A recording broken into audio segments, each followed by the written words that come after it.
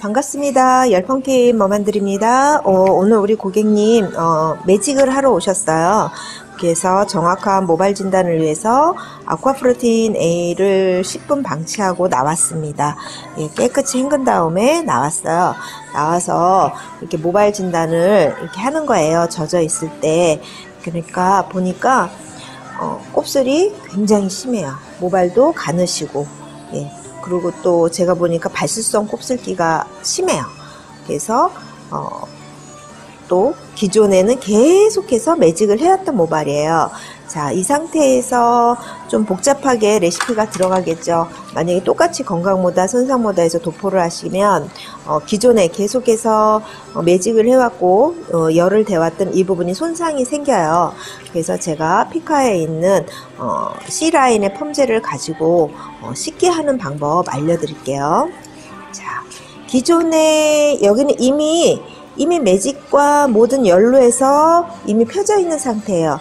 그렇다면 저는 피카에 있는 PB, PB에다 아쿠아 프로틴 A 세 펌프를 믹스를 해서 도포하겠습니다. 모발은 젖어 있는 상태예요. 자, 환원제도 굉장히 중요해요. 하지만 모발을 정확하게 진단하시고 거기에 맞게 환원제를 적용하는 것도 굉장히 중요하다고 생각합니다.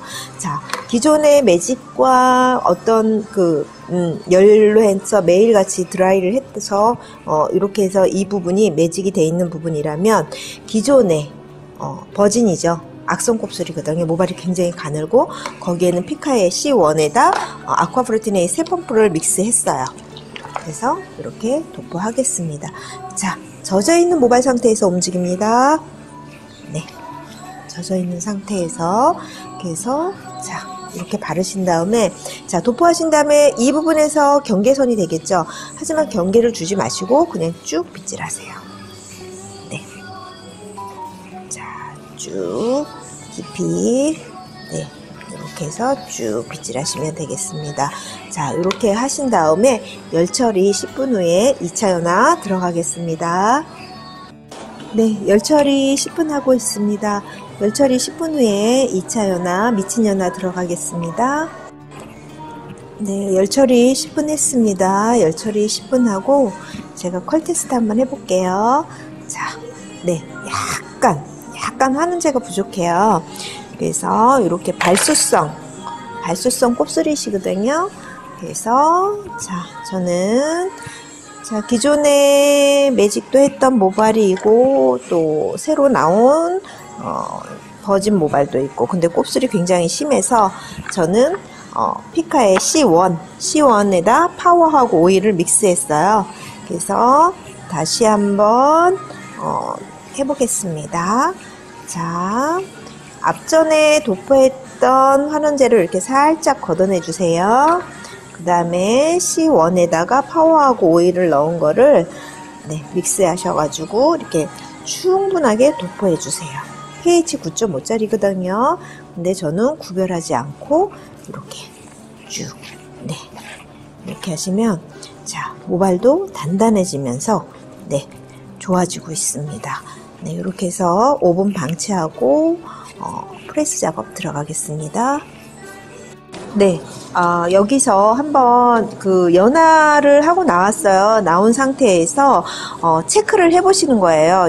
어, 악성 곱슬이 잘 펴졌나 안 펴졌나. 근데 약간 제가 보니까 저도 약간 미스가 났어요. 이럴 때는 어, 원장님들이 매직 프레스를 작업을 해서 어, 매직이 펴질 거라고 생각하지 마시고요. 다시 한번 젖어 있을 때 연화 보고 나왔는데 약간의 이렇게 곱슬이 있잖아요. 그러니까 강한 곱슬에서 이런 현상이 일어나거든요. 이럴 때는 다시 한번 네, C1에다가 어, 파워하고 오일을 넣어서 한번 다시 한번 재도포 해주세요. 그래야 어, 강한 곱슬도 어, 다시 펴지고 좋거든요.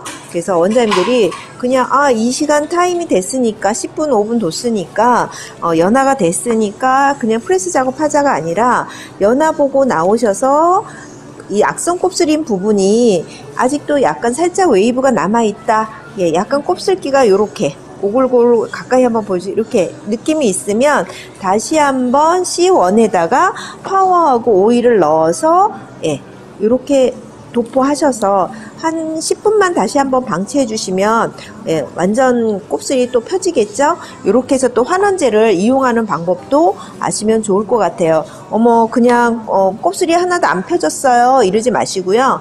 연화를 내가 생각한 것보다 연화를 보고 나와서 음, 젖어 있는 상태에서 봤을 때 약간 꼬불거리는 게 있다.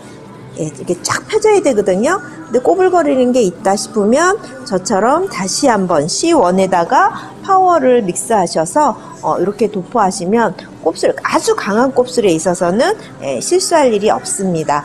네, 이렇게 해서 계속 진행해 나갈게요. 10분 방치하겠습니다.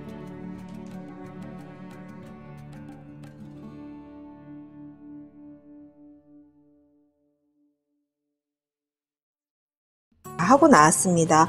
자, 우리 악성 곱슬일 때는 이 연화를 보고 나와서 어, 젖어 있는 상태에서 한번 보셔야 돼요. 그래서 이게 곱슬이 다 펴졌나 안 펴졌나. 만약에 이 부분이 안 펴져 있으면 어떻게 해요? 다시 연화를 보셔야 돼요. 그래서 어, 이렇게 해서 우리가 환원제를 또 모발에 접해서 또 악성 곱슬일 땐 어떻게 해서 매직을 하는지 또 이런 것도 또 보시기 바랍니다. 예, complain 걸리는 것보다 낫잖아요. 제 한 번더 환원제를 한 번 더 도포해서 어, 10분 정도 방치한 다음에 나오는 거. 예, 이 모발은 어, 발수성 곱슬, 악성 곱슬이에요. 거기다 발수성기가 있어서 환원제가 들어가기가 굉장히 어렵고 힘들어요. 그러니까 거의 흑인 모발에 가깝다고 보셔야 되겠죠. 그래서 저는 어, 미친 연화 pH 9.5짜리로 해서 연화 들어갔습니다. 자, 수분 조절하고 어, 프레스 작업 들어가겠습니다. 네, 수분 조절하시고요. 자, 천천히 당겨줍니다. 네, 천천히. 네, 훅 당기지 마시고요. 그냥 천천히. 네, 이렇게. 네, 이렇게 하시면, 예, 이 악성 곱슬이 이렇게 펴지면서 윤길이 쫙 나요. 그래서, 자, 여기도 잡으시고, 천천히. 네, 천천히. 자, 끝에는 이미 그 매직을 했던 부분이니까 이 부분에는 스테, 이렇게 스피드하게 가지만 끝부분은 어떻게 돼요? 뜸을 들이면서 천천히 빼주셔야 되겠습니다. 네, 그러면 이렇게 윤기도 많이 나고 예, 결도 좋아지고 있습니다. 네, 계속해서 진행해 나가겠습니다. 네, 지금 완전 건조하고 어, 완전 마무리했어요. 그래서 보시면 예, 결감도 괜찮고 네. 많이 그 악성 그가 깡, 깡곱슬이라고 제가 말씀드렸어요. 강곱슬이 아니고 깡곱슬이었거든요. 그만큼 굉장히 힘든 모발이었는데 예, 잘 됐습니다. 네, 매직은요. 어, 이렇게 납작한 게 아니라 동글동글하게 해주셔야 돼요. 네, 결 자체가 이렇게 살아있게 동글동글하게 해주시면 되겠습니다. 자, 이렇게 해서 또, 어, 피카를 가지고 열펌킨 머만들이 매직을 어, 완성해 보았습니다. 예, 고생하셨습니다.